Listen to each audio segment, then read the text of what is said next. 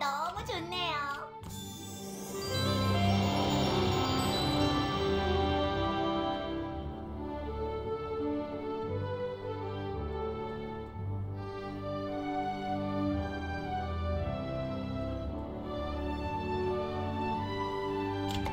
마프루여 영원하라.